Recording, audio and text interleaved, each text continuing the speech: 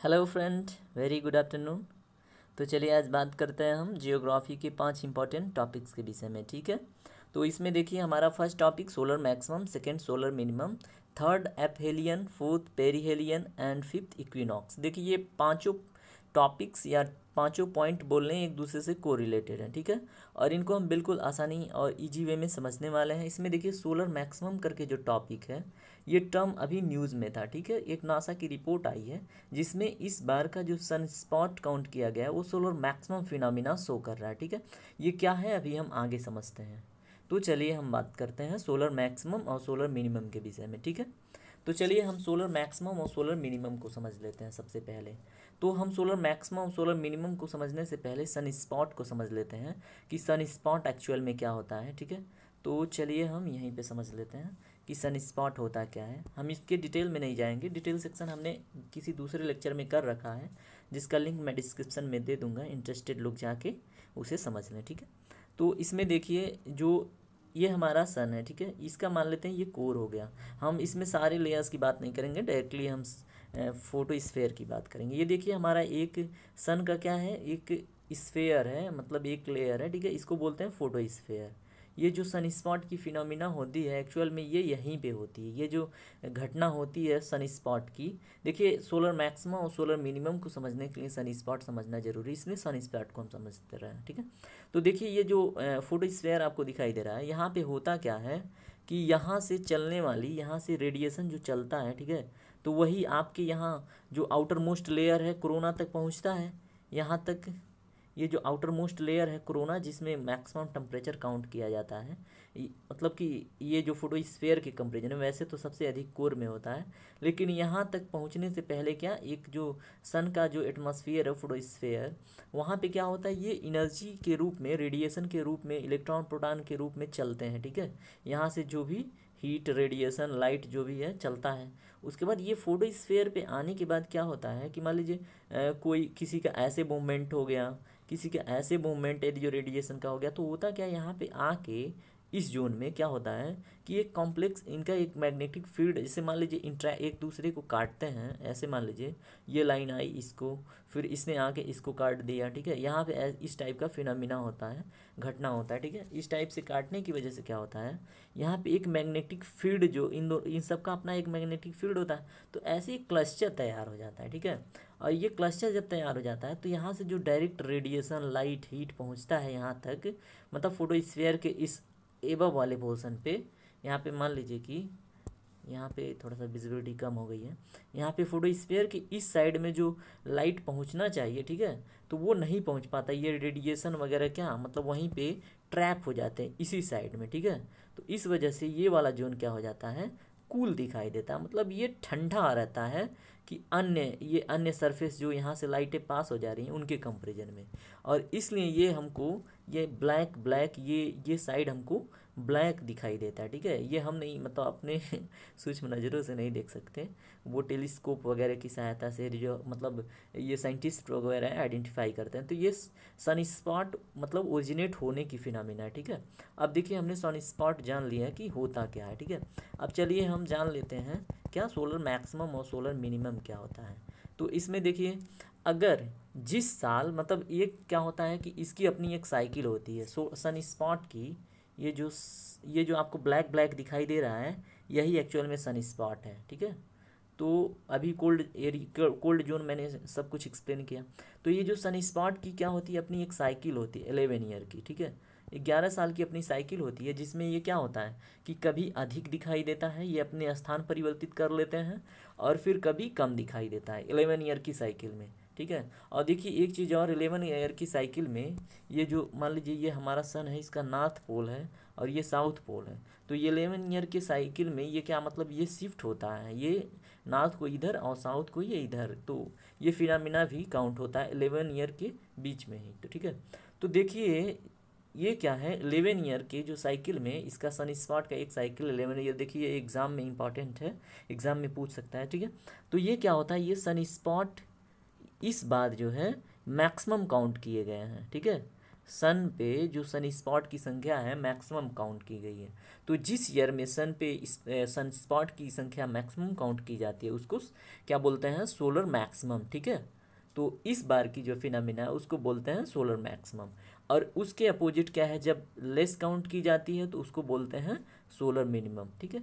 यही था बस सोलर मैक्सिमम और सोलर मिनिमम ठीक है? तो इसमें हमने सन स्पॉट और सोलर मैक्सिमम और सोलर मिनिमम का कॉन्सेप्ट समझ लिया है, ठीक है?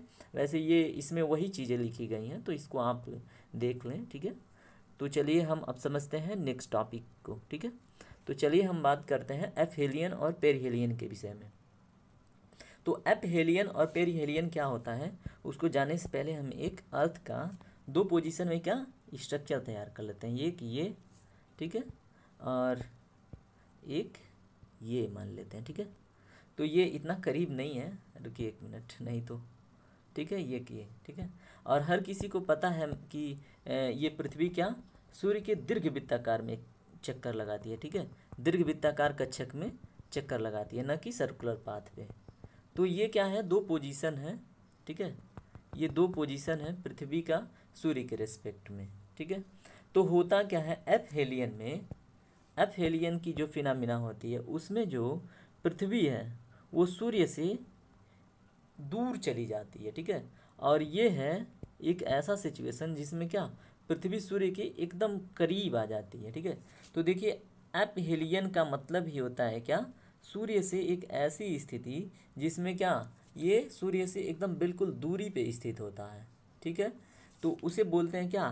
एप हेलियन की स्थिति। देखिए, इसमें जो ऐप होता है, आप इसको याद कर सकते हैं। Ap means a part a part means दूर, ठीक है? यहाँ से आप ट्रिक बना के इसको याद कर सकते हैं, ठीक है? तो एप हेलियन मतलब पृथ्वी की वह स्थिति जिसमें वह सूर्य से मैक्सिमम दूरी पे होती है, ठीक है? तो देखिए 2020 में यह स्थिति कब काउंट की जाएगी? 2020 में जो अप हेलियन की स्थिति है, यह चार जुलाई को काउंट की जाएगी। देखिए, ये चेंज भी होती रहती है, ठीक है? तो इस बार यह चार जुलाई को ये घटना ऑब्ज़र्व की जाएगी एपहेलियन की, ठीक है? अब ऐसे ये पेरीहेलियन के विषय में समझ लेते हैं। तो ये जो पेरीहेलियन वाली स्थिति है मतलब पेरी मतलब देखिए, पेरी मतलब क्या? आस पास ठीक है? तो पेरी का मतलब आप क्या ले सकते हैं? नियर अबाउट से, ठीक है? तो पेरी मतलब नियर अबाउट से। वैसे देखिए, जब आप, क्या, पर्यावरण देखते हैं तो उसमें परी परी मतलब क्या? परी में, परी का हिंदी मतलब क्या होता है? आसपास का, ठीक है? आसपास का वातावरण, पर्यावरण में, परिधन आवरण में, ठीक है? वैसे आप इस पेड़ का यहाँ से एक ले सकते हैं सेंस, ठीक है? तो मतलब क्या? आसपास का बोले तो करीब का, ये केवल याद करने के लिए था, ठीक है? तो ये देखिए, इस बार घटना ये ऑब्ज़र्व की गई थी 2020 में पाँच जनवरी को। वैसे ये डेट चेंज होती रहती है, ठीक है? तो इस बार ये घटना पाँच जनवरी को ऑब्ज़र्व की गई थी, ठीक है? तो ये होगा हमारा क्या? एफेलियन और पेरीहेलियन की फिनामिना। तो देखिए इसमें चेंजिंग कितना होता है। ये जो डिस्टेंस जो प्लस होती है, वो कितना होती है और ये कितना माइनस डिस्टेंस होती है, ठीक है? ये प्लस डिस्टेंस और ये माइनस डिस्टेंस। तो ये कितना होती है? देखिए इस स्थिति में क्या होता है? इस स्थिति में ये जो पृथ्वी है वैसे normal distance one astronomical unit होता है, जो कितना होता है? चौदह करोड़ पंचानवे लाख संतानवे हज़ार आठ सौ इकहत्तर किलोमीटर, ठीक है? ये नॉर्मल है, आठ सौ इकहत्तर किलोमीटर। लेकिन ये डिस्टेंस देखिए क्या हो जाती है? एक सौ बावन मिलियन किलोमीटर। यहाँ पे आपको forty million fourteen fifteen million मतलब one hundred fifty million kilometre about दिख रहा है नॉर्मल में। लेकिन इस पोजीशन में क्या हो जाता है? ये डिस्टेंस बढ़ के कितना हो जाता है? One fifty two million kilometre ठीक है? तो ये डिस्टेंस मैं इसकी बात कर रहा हूँ, ठीक है? तो इस पोजीशन में ये डिस्टेंस यदि जो इसके अबाउट में देखें तो क्या बढ़ गया है? कितना? यहाँ पे यदि जो ये नाइन्टी फाइव वही आप देख लें तो टू मिलियन किलोमीटर अबाउट इसमें क्या है? इंक्रीजिंग दिखाई दे रहा है। लेकिन यहाँ पे क्या होता है? पेरीहेलियन में ये अपोजिट होता है, ये डिस्टेंस घट जाती है कितना? अब देखिए, इसके रिस्पेक्ट में हम नहीं देख रहे हैं। यदि जो इसके रिस्पेक्ट में देखें तो फाइव ईयर मतलब क्या फाइव मिलियन किलोमीटर घट जाती है। ये कितना? One forty seven million kilometre count की जाती है। ठीक है? One forty seven million kilometre. देखिए one fifty two one forty seven का डिफरेंस वही फाइव मिलियन किलोमीटर का। वैसे इन दोनों का यदि जो डिफरेंस मतलब डिस्टेंस पूछे कि एप हेलियन और पेर हेलियन का जो डिफरेंस डिस्टेंस है मतलब दोनों का अंतर डिस्टेंस है तो एक सौ बावन में से एक सौ सैंतालीस घटाते हैं यदि आप तो आपको पाँच मिलियन किलोमीटर का डिस्टेंस मिलता है, ठीक है? यानी कि क्या? पचास लाख किलोमीटर का मतलब क्या? घटाव होता है पेरीहेलियन की स्थिति में, ठीक है? तो ये रहा आपका एपहेलियन और पेरीहेलियन ठीक है? और एक मोस्ट इंपॉर्टेंट चीज़, ये डेट जो है चार जुलाई और ये पाँच जनवरी, ये फिक्स डेट नहीं है, ठीक है? अभी देखिए 2021 में यही जो चार जुलाई है 2021 में ये पाँच जुलाई को एपहेलियन की फिनामिना होगी, ठीक है? 2021 में ये पाँच जुलाई को यही घटना ऑब्ज़र्व की जाएगी, ठीक है? तो वो आप समझ लें, जो मैं बताना चाहता था एफेलियन और पेरियलियन एक्चुअल में होता क्या है, वो हम लोग समझ चुके हैं। उम्मीद करता हूँ आपको समझ में आ गया होगा, ठीक है? तो एपहेलियन और पेरियलियन को आप ऐसे याद कर सकते हैं। चलिए अब नेक्स्ट पेज पे चलते हैं, ठीक है? नेक्स्ट पेज पे हम बात करेंगे इक्विनॉक्स के विषय में। तो चलिए हम इक्विनॉक्स को समझते हैं। देखिए इक्विनॉक्स फिनामिना क्या होता है कि ये मान लीजिए हमारा सूर्य है, ठीक है? और ये हमारी पृथ्वी है, ठीक है? ये हमारा सूर्य है, ये हमारी पृथ्वी है। और फिर पृथ्वी का एक पोजीशन हम यहाँ पे भी ले लें, ठीक है? ये हमारा सूर्य, ये हमारी पृथ्वी। अब इसको क्या करते हैं हम? इंक्लाइन कर देते हैं इनके एक्सिस से, ठीक है? वैसे टिल्ट वे साढ़े तेईस डिग्री पे टिल्टेड रहता ही है, ठीक है? और यदि जो हम इसको मेन एक्सिस ट्रेस कर लें मेन एक्सिस ठीक है? तो इन दोनों पोजीशन को आप ऑब्ज़र्व कीजिए, ठीक है? तो इसमें क्या होता है, ये 21 जून की घटना है। 21 जून को क्या होता है, यहाँ पे जो सनलाइट पड़ता है हमारे, यहाँ पे कैंसर लाई करता है, ठीक है? ये सीधे जो कर्क रेखा है, उस पर सीधे पड़ता है। इस स्थिति में क्या है, ये कैंसर पे जो हमारी कैंसर लाइन है, कर्क रेखा, उस पर सीधे पड़ता है, इस पोजीशन में, ठीक है? तो इस समय क्या, यहाँ पे हम इसको ट्रेस भी कर लेते हैं अपने कैंसर ये हमारी कैंसर लाइन है, ठीक है? तो इस स्थिति में क्या? यहाँ पे हमारे जो नदन हेमिसफेयर में कि 21 जून को इक्वल डे इक्वल नाइट का फिनोमिना होता है, ठीक है? लेकिन हम यहाँ इक्वल डे इक्वल नाइट ये तो केवल नदन हेमिसफेयर की बात है। यही अगर हम पूरे कंट्री के रेस्पेक्ट में देखें, ठीक है? पूरे वर्ल्ड के विषय में बात करें तो ये इक्विनॉक्स की घटना कहलाती है, ठीक है? तो ये देखिए 22 सितंबर का डेट है। 22 सितंबर के नियर अबाउट ये घटना होती है, ठीक है?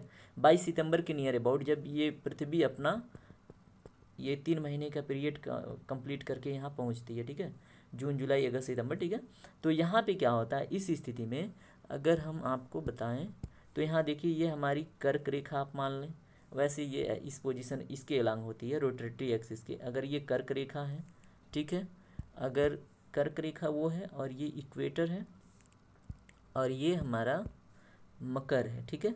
तो इस स्थिति में क्या होता है कि जो सनलाइट है ना ये, जो यहाँ पे कर्क रेखा पे सीधे पड़ रहा था, इस स्थिति में हमारे इक्वेटर पे सीधे पड़ता है, ठीक है? और जब इक्वेटर पे ये सीधे पड़ता है तो होता क्या है? इक्वल डे इक्वल नाइट पूरे वर्ल्ड में क्या होता है? पूरे संसार में क्या? इक्वल डे ठीक है? बराबर दिन ठीक है इक्वल डे आप इसे डे बोल लें, और ये इक्वल नाइट यानी कि क्या? रात और दिन की घटना समय वो समान होता है, ठीक है? तो उसको क्या बोलते हैं? इक्विनॉक्स ठीक है? तो ये रहा हमारा इक्विनॉक्स और वो हमने देखा क्या? अन्य टॉपिक्स को, ठीक है? ये बहुत ही इजी टॉपिक था, ठीक है? और इस तरह से उम्मीद करता हूँ आपको समझ में आ गया होगा। अगर नहीं समझ में आया तो आप कमेंट करें क्या? कौन सा पोर्शन नहीं समझ में आया, ठीक है? धन्यवाद। सेशन देखने के लिए आपको धन्यवाद, ठीक है? नाउ इट्स योर रिस्पॉन्सिबिलिटी कि आपको क्या करना है, ठीक है? Bye bye have a nice